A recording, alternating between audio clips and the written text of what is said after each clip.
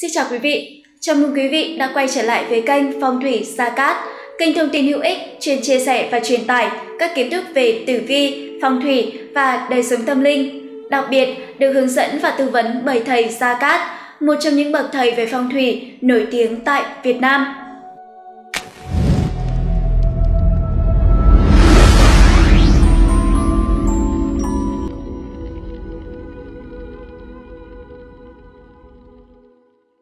Khổng tử nói, danh bất chính, tắc ngôn bất thuận. Tô Đông Pha nói, trên thế gian chỉ có tên là có thực, không thể dối trá. Nghiêm hạ thì nói, một tên đã lập lên thì đi cùng năm tháng. Các tiên hiền đều đã nêu được ra tầm quan trọng của họ tên đối với con người. Cổ ngữ lại có câu, cho con ngàn vàng không bằng dạy con một nghề. Dạy con một nghề không bằng cho con một cái tên hay đủ thấy cái tên có tầm quan trọng như thế nào. Mỗi cái tên đều gửi gắm một niềm hy vọng thành công trong sự nghiệp, tiền đồ rộng lớn, cuộc sống sung túc, mưu cầu thông minh, xinh đẹp, khỏe mạnh, cát tường, ý chí kiên cường, lòng ôm trí lớn, trí thức uyên thâm, nội hàm văn hóa của mỗi con người. Đặt tên con là một việc hết sức ý nghĩa và tầm ảnh hưởng quan trọng đến tương lai và cuộc đời của con. Ngày xưa các cụ thường đặt tên con thật xấu để tránh những điều rủi và vô hình chung đã tạo ra những cái tên hết sức buồn cười và khiến trẻ bị xấu hổ cũng như ngăn cản nhiều bước tiến và sự tự tin cần có ở con mình. Đặt một cái tên hay và ý nghĩa chưa đủ, có nhiều điều kiêng kỵ trong vấn đề đặt tên. Trong chương trình ngày hôm nay, kênh Phong thủy Gia Cát xin chia sẻ một số điều cấm kỵ khi đặt tên cho con để tránh sau này ảnh hưởng đến tương lai cũng như vận mệnh của con.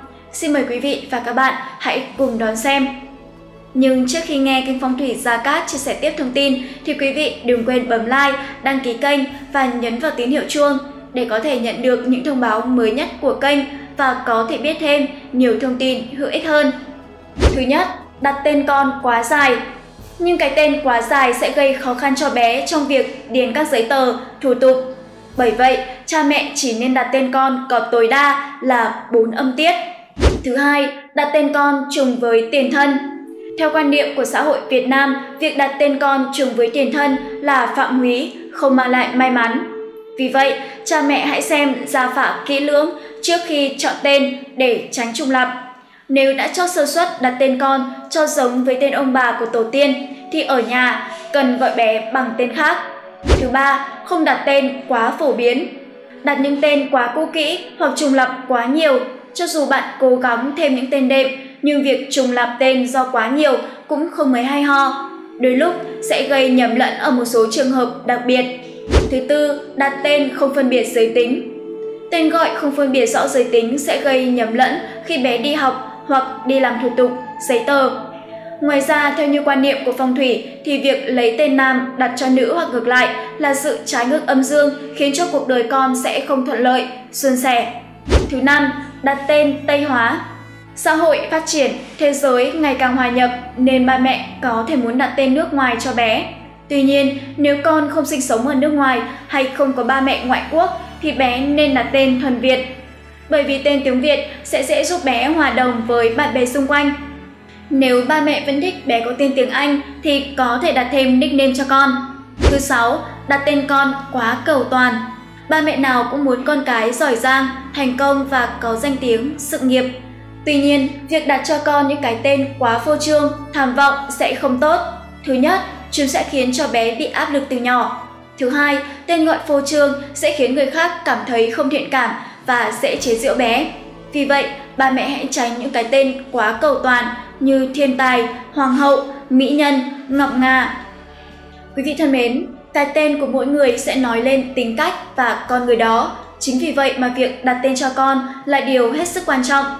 Theo các chuyên gia tử vi, việc có thể nhận biết tính cách của một người không nhất thiết phải biết tất cả họ và tên đầy đủ của người đó, mà chỉ cần chữ cái đầu tiên của tên sẽ tiết lộ nét riêng của từng người.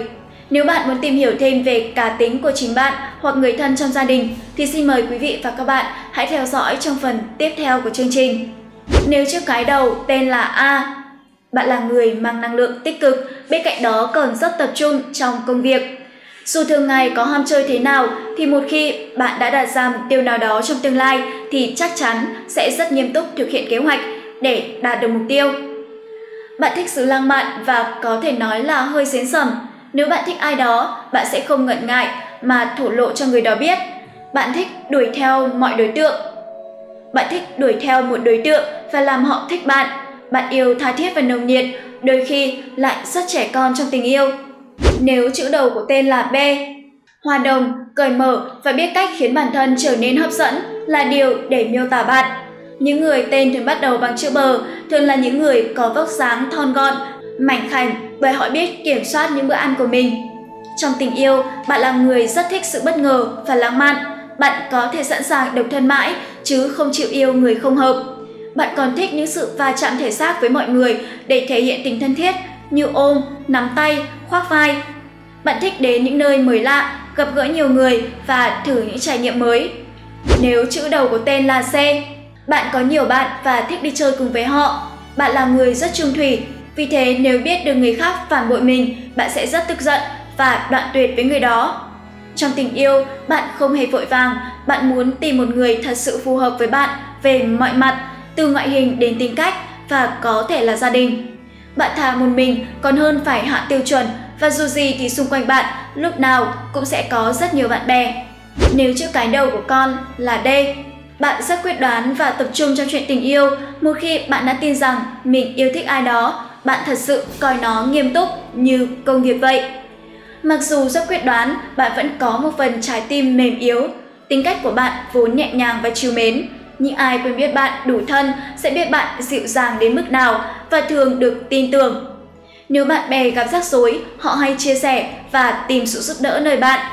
Nếu chữ đầu tiên của tên là G, bạn là một người theo chủ nghĩa hoàn hảo cả trong cuộc sống và tình yêu. Bạn luôn tìm kiếm nửa kia đủ tiêu chuẩn của bạn về trí tuệ, nét hấp dẫn và cả những quan hệ xã hội. Họ ít nhất cũng phải ngang tầm với bạn, không thì bạn không để mắt đến đâu. Đặc biệt, bạn muốn có người yêu hợp với bạn nhất về trí tuệ để cả hai có thể có những cuộc tranh luận thú vị. Bạn là người bận rộn và rất có trách nhiệm, bạn biết cách dung hòa giữa công việc và nghỉ ngơi, Thế nên dù bận rộn hay áp lực nhiều cũng khó có thể khiến bạn bị căng thẳng. Chiếc cái đầu của tên là Hát. Bạn là người quyết đoán, nóng tính và có nhiều hoài bão. Trong mắt bạn bè, bạn là người rất đáng tin tưởng nhưng đôi khi lại có chút ích kỷ bản thân. Nếu là con gái thì có phần đanh đá, còn là con trai thì lại điệu đà, quan trọng, vẻ ngoại hình. Bạn là người có mối quan hệ rất rộng rãi và nhận được sự giúp đỡ từ nhiều người. Nếu chữ cái đầu tiên của tên là K, bạn kín đáo, trầm lắng và có vẻ rất hài ngượng. Nhưng bên trong, bạn che giấu một bản chất rất nồng nhiệt và nhạy cảm. Chỉ những ai bạn thực sự yêu mến mới có thể phát hiện ra những bản chất này của bạn. Bạn tin tưởng sâu sắc vào một tình yêu thực sự và bạn chẳng thích quanh quẩn lượn lờ xung quanh những ai mà bạn không nghĩ là có tiềm năng.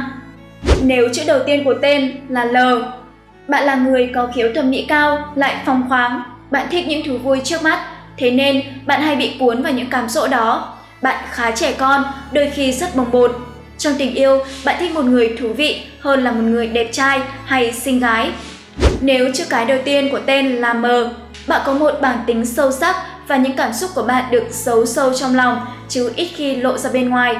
Bạn bè sẽ nghĩ bạn là một người khó hiểu, khó chiều. Bạn rất cởi mở và bạn tin rằng mọi thứ nên được thử qua để hiểu và biết cảm giác về nó. Bạn cũng có tính cách hay chăm sóc cho người yêu, đôi khi như chăm trẻ con vậy. Tuy nhiên hãy cẩn thận vì bạn có thể trở nên chiếm hữu và ghen tuông. Nếu chữ đầu tiên tên bạn là N, bạn khác với vẻ ngoài mọi người thường nhận xét.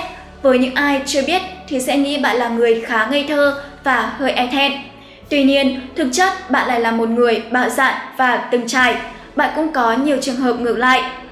Bạn lạnh lùng với những người lạ nhưng lại rất điên và hết mình với bạn bè thân thiết. Bạn đặt tiêu chuẩn rất cao với người yêu của mình. Nếu chữ đầu của tên là O, nếu chữ đầu của tên là O, bạn là một người nồng nhiệt và sâu sắc trong tình yêu nhưng bạn không thể hiện điều này. Với bản tính hơi e dè, bạn thường yêu thầm ai đó một thời gian nếu có người yêu, bạn không thích thể hiện tình yêu một cách công khai.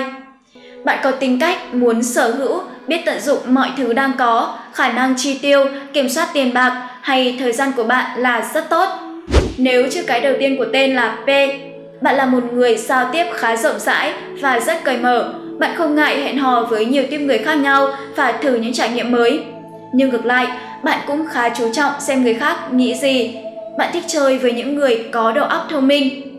Bạn thích thay đổi để tạo sự mới lạ cho bản thân, ví dụ như thay đổi kiểu tóc, gu ăn mặc. Bạn cũng rất thích tranh luận. Những cuộc tranh luận sẽ giúp bạn cảm thấy hứng thú và bớt nhàm chán với bạn bè người ấy của mình để xem người ấy có được tán thành hay không. Nếu chữ đầu của tên là Quy, bạn là người năng lượng rất dồi dào, khá nhanh trí và cũng muốn nửa kia của mình sở hữu tính cách tương tự. Khi yêu, bạn rất sôi nổi và sẽ là một người yêu mang lại nhiều niềm vui và nụ cười cho người kia. Ngoài ra, bạn là một workaholic, người sống vì công việc. Nếu chữ đầu của tên là S, bạn là người nhiều ý tưởng, biết quan tâm và chu đáo. Trong một nhóm bạn thì bạn sẽ là nhân vật tổ chức ra những trò chơi thú vị và thu hút được sự tham gia của mọi người. Trong tình yêu, bạn cân nhắc trước khi quyết định và luôn biết mình cảm thấy thế nào về một người hay trước một tình huống nào đó. Bạn thận trọng khi yêu và chẳng bao giờ thực sự cho đi một khi bạn chưa tin chắc là mối quan hệ đó sẽ trở nên sâu sắc, bền chặt.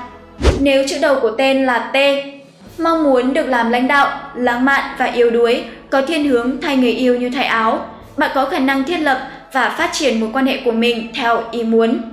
Bạn không thích người khác góp ý hay khuyên bảo, bạn bị thu hút bởi những người chủ động. Trong tình yêu, bạn thích những điều cổ điển như những lá thư tình viết tay hoặc những bản nhạc hoài cổ. Nếu chữ đầu của tên là U, bạn là người luôn hết mình trong mọi việc, đặc biệt là tình yêu. Bạn thích đi chu du thiên hạ và có khả năng chế ngự tình cảm. Tính tình bướng bỉnh và trẻ con nhưng rất mạnh dạn và đầy hoài bão. Bên cạnh đó, bạn thích tự do, ghét những ai nói nhiều. Những người ưa phiêu lưu mạo hiểm là nửa kia mà bạn thích. Nếu chữ đầu của tên là V, mang theo chủ nghĩa cá nhân, sự tự do với không gian rộng lớn, sôi động lôi cuốn bạn. Bạn có khả năng lôi cuốn thu hút người khác bởi bạn có ngoại hình nổi bật cùng tính cách hòa đồng. Dù đôi khi là hơi giả tạo, bạn có rất nhiều người ghen ghét và đố kỵ bởi bạn có rất nhiều người quý mến. Nếu chữ đầu tiên của tên là X, bạn thực sự là một người ham vui, bạn dồi dào năng lượng và luôn luôn tìm kiếm cơ hội cho mình. Bạn là người có tài năng trong nhiều lĩnh vực. Bạn cùng một lúc có thể có nhiều mối quan hệ.